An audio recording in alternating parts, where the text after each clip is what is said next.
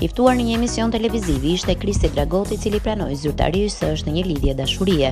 Kristi tregoi se vajza që ia ka marrë zemrën është shqiptare, brune, studion në Angli dhe është shumë ndryshe nga vajzat e tjera tipike shqiptare. U takuam në një ekspozitë dhe më bëri shumë përshtypje se nuk kishte lidhje me vajzat tipike shqiptare.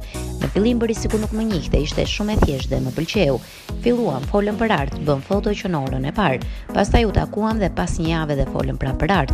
Kur themi folëm për art, nënkupton shumë gjëra të bukura, full çdo gjë. Tha ai duke lënë të kuptohet për intimitet mes dyshes. Kristi gjithashtu pohoi se ka afirmimin e plotë të Robertit për këtë marrëdhënie, ndërsa nuk nguroi të tregonte se dashuria mund ta çojë edhe në Angli, aty ku studion e dashura e tij e re.